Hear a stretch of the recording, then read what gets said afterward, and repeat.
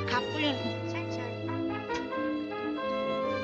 Men det, det, altså, jamen, det er helvede til. Altså, det må du lade være med det der. Hvad? Ja, undskyld. Øh, hvor kom I fra? Men så kan du også prøve kostymet igennem, når du skal have tarantellen.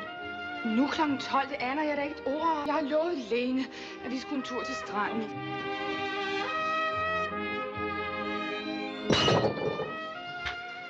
Hvorfor gjorde du det, Lene? Hvad? Så med sove.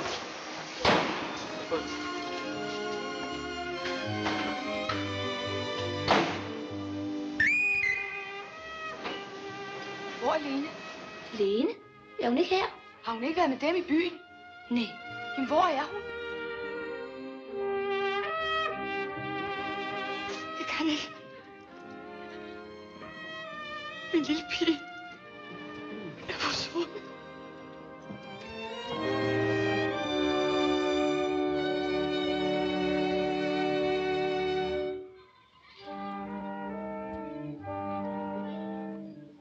Hør, du må ikke sidde der.